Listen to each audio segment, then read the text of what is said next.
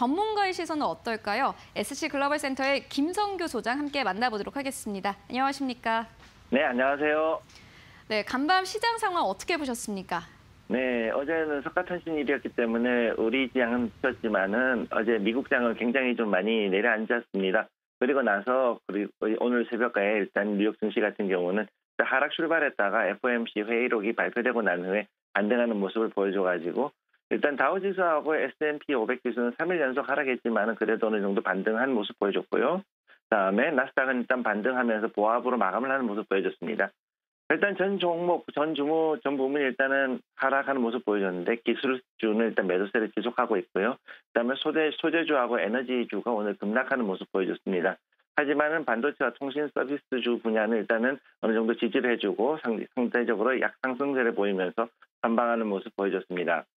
오늘 뉴욕 증시에서는 역시 가장 중요한 게 연준 이야기가 중심이 될 것 같습니다. 일단 연준, 연준의 총재가 일단 연준의 기존 입장을 계속 고수하는 이런 발언을 해왔고 그 다음에 테이퍼링에 대해서도 곧 진행할 수도 있다라는 뭐 이런 발언을 좀 시사하는 그런 모습을 보여주는 가운데 국내 증시도 일단 한국은행이 과연 금리를 그대로 동결할 것인지 여기에 대한 기대 심리가 나타나면서 일시적인 상승이 나올 수 있을 것으로 보입니다.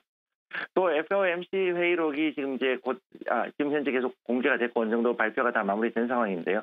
전체적으로는 일단 제로 금리는 고수하고 있는 상태인데도 불구하고 저성장하고 그다음에 경기 회복에 대해서 지연이 되는 것을 좀 언급을 하고 있습니다. 또 여기에 대해 가지고 시장에 대해 약간의 숨통을 트기 위해서 어 standing repo 즉 상시적인 이 repo 금리에 대한 그 기구를 만드는 것에 대해서 연준 의원들이 상당히 다수가 찬성하고 있다라는 이런 모습 이런 이야기를 하면서 그 국채 금리가 반등하고 어느 정도 시장도 조금 안정되는 그런 모습 보여주고 있습니다. 따라서 국내 증시는 이에 대해서 오히려 당분간은 좀 지리하게 횡보하거나 아니면 좀 완만한 하강을 보일 수 있는 이런 상황이기 때문에 여기에 대해서는 조금 위험해 두시고 투자를 진행하시는 게 좋을 것으로 보입니다. 마지막으로 현재 이제 또 비트코인이 어제 굉장히 급락을 했습니다. 30% 이상 급락했다가 잠깐 이제 조정을 받고 지지를 좀 받고서 이제 좀 쉬어가는데 이렇게 너무 큰 유동성의 흐름을 보이고 있는 비트코인 때문에 투자자들이 결국은 다시 안전자산 쪽으로 유동성은 다시 몰릴 수 있을 것으로 보입니다. 이에 따라서 국내 시장 역시 코인 시장으로 들어갔던 자금들이 어느 정도 회귀하면서 또 활력은 어느 정도 생길 수 있을 것으로 보고 있는데 단 지금 현재 계속 일단 지리한 횡보라든가 이런 완만한 하강이 지속될 것으로 보이기 때문에 이에 따라 가지고 활력이 그렇게 크게 많이는 생기지 않을 것으로 보입니다.